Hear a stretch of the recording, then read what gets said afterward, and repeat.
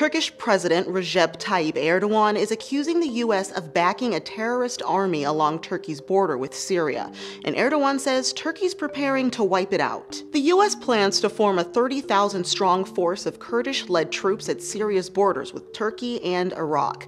Kurdish forces in Syria have been allied with the U.S. in the fight against terrorist groups like ISIS. Turkey is another U.S. ally in Syria, but the Turks are also fighting against Kurdish militants at home and consider the Kurdish forces in Syria part of the problem. Turkey has attacked Syria's Kurds in the past. Now, Erdogan says the country is gearing up for an operation to suffocate the planned border force before it's fully established. Turkey is already on the outs with the US because the Americans won't hand over expatriate cleric Fethullah Gulen.